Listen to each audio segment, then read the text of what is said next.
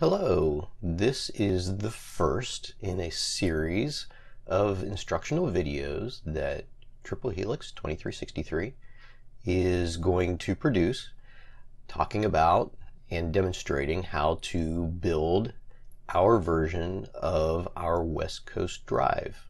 We are specifically targeting this at our new students that join the team who want to learn about what we do. Um, you don't need to know anything about robotics. You don't need to know anything about tools. We're going to be telling you um, all about our techniques and how to use tools safely. And we figure that this may also have a benefit for the wider FRC and FIRST community at large. So we're going to put it out there on the internet so that anybody who wants to follow along or build a West Coast drivetrain the way that we do it is welcome to do so. Um, we're also going to talk about uh, the history of the design that we use, and then we'll we'll talk in this episode about what exactly it is that we're going to be building. So at the end of 2017, we realized that we were going to have to redesign our drivetrain.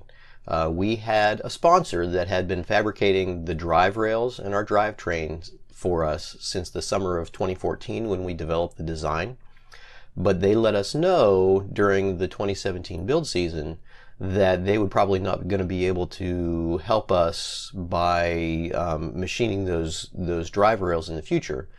So if we were going to keep on using the design that we had developed over the years, uh, we were going to have to figure out either we were going to have to find a new sponsor that could do it for uh, do that machining for us, or buy a really expensive CNC milling machine or figure out some way that we could do that work ourselves by modifying the design so it didn't require precision machining the way that it did before. Um, there had at, at, that point there had been quite a bit of new developments and new products come on the market uh, since 2014 when we had designed this um, drivetrain and we figured that uh, it was a good time for us to look around and see what was out there to help us in that process. We put together a list of features that we would like to implement in that drivetrain. Um, at this time, there were a bunch of teams and there was a lot of chatter on Chief Delphi about the benefits of using um, three mini CIMs uh, in, a, in, in a gearbox that would drive one side of a, of a drivetrain. And we wanted to see if we could put those the motors that were driving those gearboxes out over the wheels rather than inside of the frame where we had done it previously. Um, we were thinking we might like to try using a belt drive, and we also wanted to make it so that um, we could tension the uh, the tension in the belts or the chains or whatever it was that was driving our wheels. Um, in our previous our previous version of the drivetrain, we had these drive rails on either side, and we um, used precisely machined bearing bores to locate um, the axles for these for these wheels in locations where we, if we put in brand new chains, they were precisely tensioned. Um, these tubes are two inches tall by one and a half inches wide, and they fit um, chains inside of them. Uh, two chains side by side. One chain runs along this area to drive this wheel. The other one runs along this area to drive the other wheel. Um, so we ended up doing a number of different changes.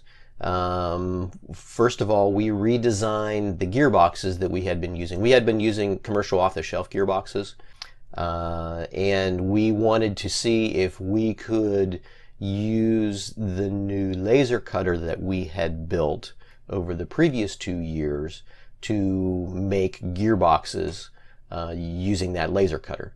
So we did that. That was one of the things that we did over the summer was designed a gear, designed and built a gearbox um, that had um, laser cut Delrin plates on either side, and then off the shelf internal components um, other than the shafts, which we uh, which we made ourselves.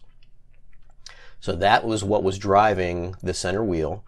And then we, we ended up sticking with chains for this version of the drivetrain. We were not able to put two belts side by side inside of this tube. So we ended up sticking with chains.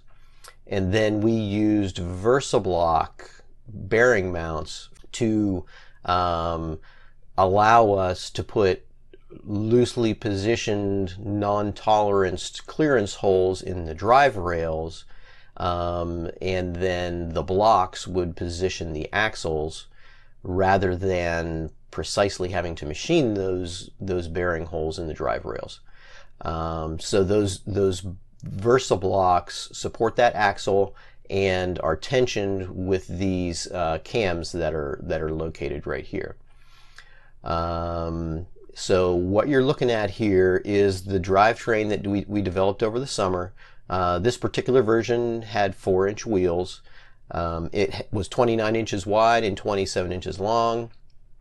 And it had a had a bumper height of six and a quarter inches, and it had just a little bit less than an inch of ground clearance. What we ended up doing, we made some minor modifications for the 2018 game where we went from four inch wheels to five inch wheels to increase the, the ground clearance. And we added uh, a an outside frame perimeter that bumped the interior dimensions of the robot larger so that we could fit more stuff inside. The frame perimeter now being 28 wide by 33 long, which was the max that was allowed. What we're going to build is one of these drive rails that we built for the 2018 game. So what you're looking at on the screen here is our 2018 competition robot, Genome Kappa. The heart of this robot is our drivetrain. And the drivetrain consists of drive rails on either side with ladder bars that hold them apart those are connected with riveted angle brackets in the corners. The ladder bars and the drive rails are fabricated from tubing that we buy ahead of time. Ladder bars are one, by, one inch by two inch tubing. The drive rails are one and a half inch by two inch tubing. Those are one and a half inch wide so that we can fit drive chains inside of them so that our drive wheels are driven by chains that are completely protected on the inside of these drive rails. The chains are driven by a custom gearbox. This gearbox is made of laser cut plates, one on either side, that are made out of Delrin, and a bunch of commercial off the shelf gears and motors and spacers and hardware and some tubing spacers that we cut from tubing uh, the same way that we cut our drive rails and ladder bars from tubing. And then this drive rail assembly uh, has some Versa blocks from VexPro that hold the wheel bearings. Uh, there's a bearing here and bearing on this side and there is a clearance hole here in the drive rail for a hex shaft axle to go through. There's the axle to go through. And these um, VersaBlock assemblies clamp together with screws that sit right here and here. And so, and they're, and they're tensioned by these cams that sit right in here. So on kickoff day, the first question we ask ourselves as a team is whether or not our standard drivetrain design can be used, modified in some small way sometimes, uh, to play that year's game. Ever since 2014, when we started using this, this design, the answer has always been yes. We've been able to tweak it in various ways to make it work. This year, for instance, we put on 5 inch wheels instead of 4 inch wheels to give ourselves a little bit of extra ground clearance and we ended up making our bumper brackets a little taller so that the, the uh, bumper rails would clear the tops of the 5-inch wheels. And we stretched the gearboxes a little bit taller so that the motors would clear the tops of the wheels. And so that's that was the customization that we did for this year's game. So what we're going to build in this video series is one of these drive rail assemblies I will, we're not going to build bumper brackets. What we're going to build is this assembly right here. We're going to make a drive rail. We're going to make a gearbox. We're going to make the axles that the wheels mount onto. And we are going to assemble all of those parts into the drive rail. We're going to make the chains that, that are on the inside and we'll show you how to install those chains. Hopefully this will be useful to other people uh, we know that it's going to be useful to our incoming students that come in and can learn about this stuff. Um, if you have questions or comments about what we're doing, feel free to ask them in the questions at the bottom of the YouTube videos. Um, you can ask them in on the threads on Chief Delphi, or you can private message uh, the mentors on the team, and we will um, answer your questions to the best that we can.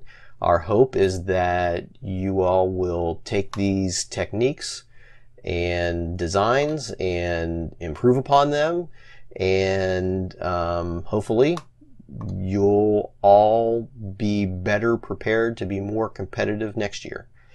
So let's build a drivetrain.